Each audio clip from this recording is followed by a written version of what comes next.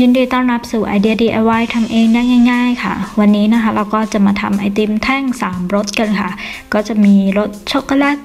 ราสเบอร์รี่แล้วก็วานิลานะคะ แล้วก็แล้วเราก็เพิ่มความพิเศษตรงที่เราเติมเนื้อราสเบอร์รี่ลงไปในแท่งไอติมนะคะ เพื่อเพิ่มความอร่อย ก่อนที่เราจะเริ่มทำนะคะ เดี๋ยวเราลองมารีวิวดูว่าอุปกรณ์ที่เราจะต้องเตรียมจะต้องมีอะไรบ้างนะคะ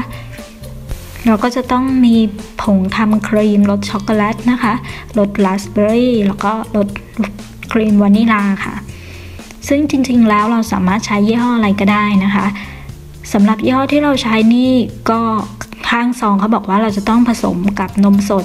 300มิลลิลิตรสำหรับห่อสีเหลือง แล้วก็ 250มิลลิลิตรสำหรับห่อสีม่วงค่ะ ซึ่งเราก็ได้เตรียมนมสดเอาไว้แล้วนะคะ นี่ค่ะจะเป็นนมสดที่เราใช้นะคะ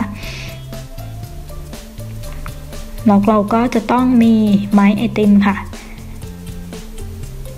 ซึ่งจริงๆแล้วนะคะ เราสามารถทำเป็นไอศครีมถ้วยก็ได้ ไม่จำเป็นต้องทำเป็นไอติมแท่งเสมอไปนะคะ เดี๋ยวเรามาเริ่มขั้นตอนการทำกันเลยนะคะ ขั้นตอนแรกเราก็จะต้องผสมผงทำครีม ทั้ง 3รสนะคะ กับนมสด เราก็จะทำรสวานิลารสช็อกโกแลตแล้วก็รสราสเบอร์รี่ค่ะ ก็ผสมง่าย ๆ ค่ะ เทผงทำครีม แล้วก็ผสมกับนมสดคนให้เท่ากัน ก็หน้าตาออกมาเป็นแบบนี้นะคะ ขั้นตอนต่อไปเราก็จะตักครีมใส่ถุงบีบค่ะ แล้วก็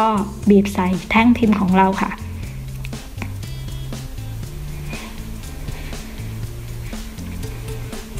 ซึ่งเราก็จะใช้ช้อนตักครีมใส่ถุงนะคะ แล้วก็บีบใส่แท่งพิมพ์แบบนี้นะคะ เรามาเริ่มทำกันเลยค่ะ เราจะวางถุงไว้บนฝ่ามือแบบนี้นะคะ แล้วก็ ค่อยๆตักครีมใส่นะคะ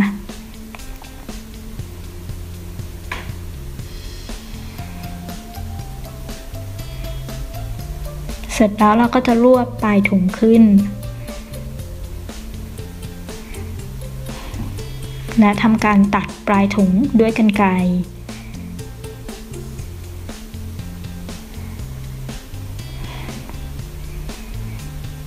หลังจากนั้นเราก็จะบีบใส่แม่พิมพ์ค่ะ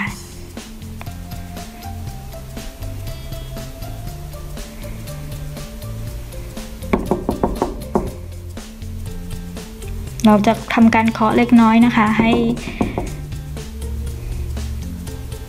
ให้เนื้อครีมที่เราบีบนี้ลงไปอยู่ในถ้วยนะคะ พอเราใส่ครีมรสช็อกโกแลตเสร็จแล้วก็ตามด้วยครีมรสราสเบอร์รี่ค่ะ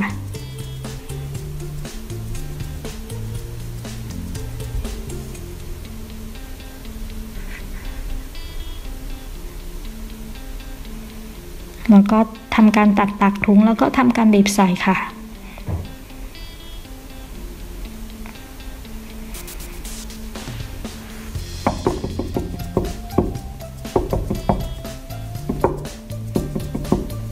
พอเราบีบครีมราสเบอร์รี่เสร็จแล้วนะคะ เราก็ตามด้วยครีมรสวานิลา